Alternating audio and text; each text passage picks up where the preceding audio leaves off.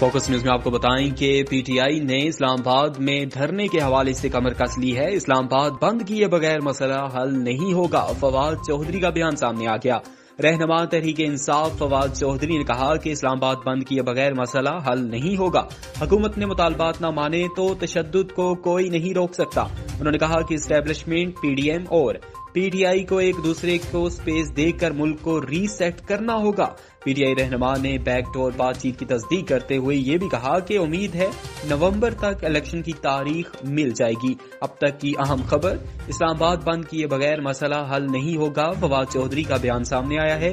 रहनमा तहरीक इंसाफ, फवाद चौधरी ने कहा कि इस्लामाबाद बंद किए बगैर मसला हल नहीं होगा। हुकूमत ने मुतालबात न माने तो तशद को कोई नहीं रोक सकता। पीटीआई रहनमा ने बैग डोर बातचीत की तस्दीक करते हुए ये भी कहा कि उम्मीद है नवंबर तक इलेक्शन की तारीख मिल जाएगी। मजीद बखबर रहने के लिए देखते रहें फोकस न्यूज़।